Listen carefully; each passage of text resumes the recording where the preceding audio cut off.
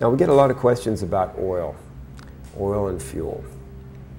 So I'm going to go ahead and spend a little bit of time explaining to you which oils you should use and why. And, and these recommendations change, so you might want to check either with one of the service centers uh, on, a, on a fairly regular basis and check the Rotax website for the latest oil bulletins. Now, over the past few months, we've been recommending these three oils. Uh, you see on the left the uh, Pennzoil, which is a mineral-based oil.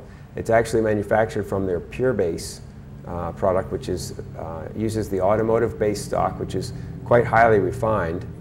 And then they add a gear anti-wear package to it, which we like on the Rotax series engines because it helps uh, reduce wear in the gearbox.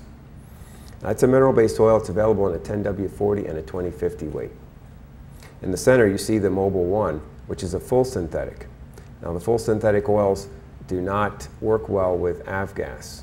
You can use a little bit of avgas with it, uh, but we don't recommend uh, a lot of avgas use with the full synthetics. The full synthetic does give you that 100 hour oil change interval, or once a year, whichever comes first, if you're using mostly unleaded fuel. On the right, Golden Spectro makes a semi-synthetic, which can work with avgas or autogas, uh, and also is quite a good product and available in 1040 and 2050 weights. Now, Shell, um, I think partly because of the size of this market now and, and the fact that the Rotax engines have become extremely popular around the world, uh, they have uh, began producing a new oil which is designed just for the Rotax engines, the Rotax aircraft engines. And that's called the uh, Aeroshell Oil Sport Plus 4. It's available in a 10W40 weight. It's a semi-synthetic and will work with avgas or autogas.